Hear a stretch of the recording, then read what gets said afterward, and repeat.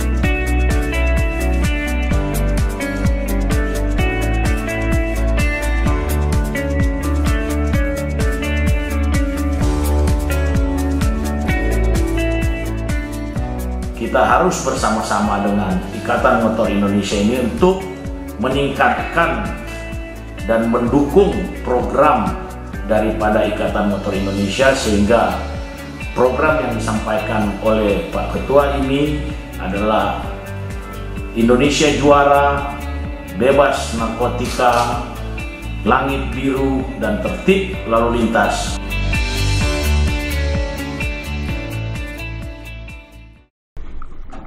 Jika Narkoba Streaming Radio Sobat Cegah di Senes Radio sudah keterangan tamu spesial banget yang akan kita wawancarai di Senes Podcast kali ini. Beliau adalah Ketua MPR RI dan juga Ketua dari IMI, Ya. Ikatan Motor Indonesia. Betul, siapa lagi kalau bukan Bapak Bambang Susatyo. Halo Bapak. Halo juga. Selamat datang Bapak di Ya, Senes makasih. Radio Bapak. Gimana Bapak kabarnya hari ini Pak? Alhamdulillah. Alhamdulillah baik. Tetap Alhamdulillah. sehat. Alhamdulillah juga. Gimana Pak, Pak? Eh, kabar keluarga Pak? Semua baik-baik aja. Semua. Alhamdulillah dalam suasana yang masih horor. Alhamdulillah kita semua masih diberikan kesehatan. Alhamdulillah. Oke Bapak, sekarang kita eh, ngomongin anak muda Pak. Hmm. Ya kan Am? Di mana melihat dunia yang dinamis ini Pak, yang di dalamnya ini emang banyak banget milenial dan sekarang ada lagi Gen Z yang rentan dengan narkoba Iya, Pak. betul. Menurut Bapak bagaimana cara yang tepat dalam menyikapi hal tersebut nih Pak? Ya memang persoalan penyalahgunaan narkoba ini adalah persoalan kita semua. Iya, ya. Bukan hanya BNN, bukan hanya kepolisian, bukan hanya kami yang di Senayan. Kita semua memiliki tanggung jawab yang besar dalam hal ini karena ini menyangkut masa depan bangsa. Oke. menyangkut masa depan generasi muda kita. Apalagi kita tahu bahwa Indonesia menjelang ulang tahun yang ke-100 ya ulang tahun emas pada tahun 2045 kita memiliki bonus demografi. Iya. Jadi mana generasi muda kita jumlahnya sangat besar, hampir 80 juta nanti pada tahun 2030. Sehingga kalau kita tidak- tidak jaga anak-anak muda ini, maka akan terdampak daripada eh, penyalahgunaan narkoba ini. Dulu sebelum teknologi maju, kita masih agak mudah mengawasinya. Tapi begitu teknologi yang semakin seperti sekarang ini kita agak sulit karena kita tidak tidak bisa setiap hari mengontrol apa yang anak-anak kita baca lihat dalam genggaman handphonenya Ya, sehingga sekarang ini informasi atau global informasi itu masuk sampai ruang-ruang pribadi kita yang nggak bisa kita cegah. Betul. Nah, pengaruh-pengaruh gaya hidup modern, gaya hidup eh, apa namanya fly atau ya jangan sampai merusak generasi muda kalau nggak pakai narkoba lu nggak nggak go banget deh nggak modern lo. Nah ini harus Ya, ya. diubah. Justru lo pakai narkoba jadul lo lo nggak modern. Lo orang-orang dulu lo kalau masih pakai narkoba. Sekarang eranya bukan pakai narkoba. Sekarang ini eranya hidup sehat.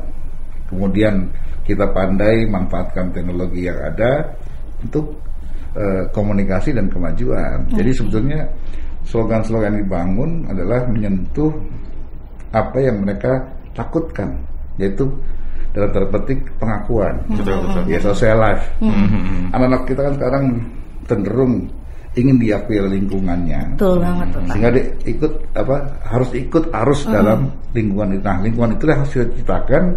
Lu kuno lu, du, orang dulu lu pakai narkoba, alah jadul lu, masih gini hari masih pakai narkoba gitu.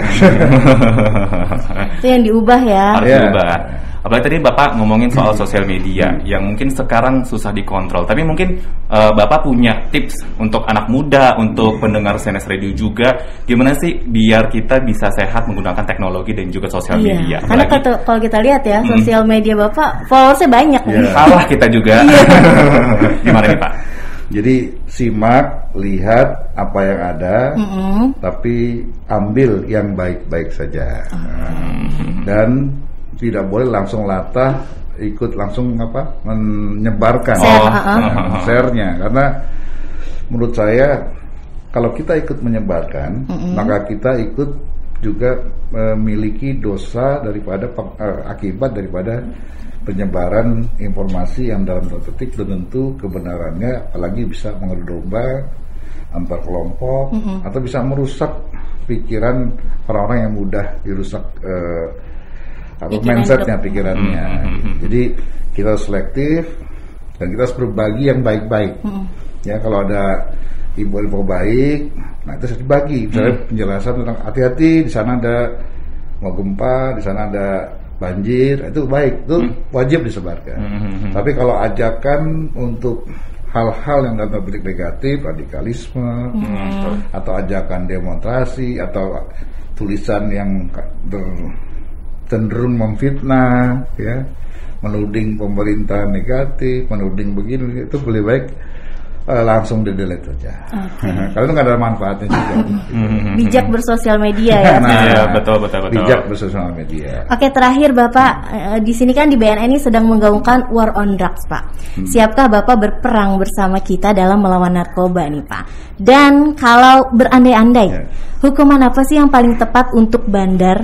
Kayak hukuman 20 tahun kah? Seumur hidup atau hukuman mati? Ya, jadi justru saya mengajak perang kepala BNN tadi narkoba ini. Jadi IMI mengajak saya sebagai ketua umum Ikatan Motor Indonesia Oke. dengan berbagai macam kegiatan yang melibatkan anak-anak muda, saya mengajak eh, kepala BNN dan seluruh jajarannya mari kita perang bersama. Ah. Nah, kemudian hukuman apa yang paling pantas? Menurut saya hukuman mati yang paling pantas. Hukuman mati. Langsung Bagi ya. bandar. Bagi bandar. Bagi bandar. Walaupun kita eh, sangat menghindari hukuman mati itu, ya, hukuman seberat-beratnya. Ya, menurut saya kalau memang itu sangat eh, bandar-bandar besar, ya, itu maksimum hukuman mati, Nah, minimum seumur hidup. Nah, Ada batasnya ya. Iya, iya, iya. Oke, terima kasih Bapak sudah Oke. datang ke CNS Radio. Jaga sehat terus dan juga jaga- salam untuk keluarga, Pak ya. ya. Untuk berapa am? Lima bidadari? Dan tiga Oke, jajakan. oke, guys. Oke, terima kasih Bapak. Terima kasih Bapak. Kalian mesti tahu juga Apa nih, Pak? slogan ini. Oke, Oke, boleh boleh, Pak. Nah, Indonesia juara, bebas narkoba, ya, kemudian taat berlalu lintas dan langit biru. Langit Ah. Cerah. Langit biru itu kita harus segera beralih ke bermigrasi ke dari BBM ke listrik elektrik. Oke. Sehingga nanti di jalan-jalan kita tidak ada lagi kita menghirup asap knalpot yang merusak kesehatan kita. Ikatan Motor Indonesia. Ya, Indonesia juara, bebas narkoba, taat lalu lintas, Taat lalu lintas. dan, Dan langit biru. Langit biru. Oke, terima kasih Bapak. bukan tenda biru loh ya. Iya. Tenda biru. Nikahan tenda biru. Oke. Terima kasih Bapak dan juga Ya. CNS Radio jangan lupa untuk dengerin terus ya Sobat Cegah dan buat kamu yang mau streaming jangan lupa streaming terus di ceganarkoba.bnn.co.id dan jangan lupa untuk apa? War Untuk on drugs.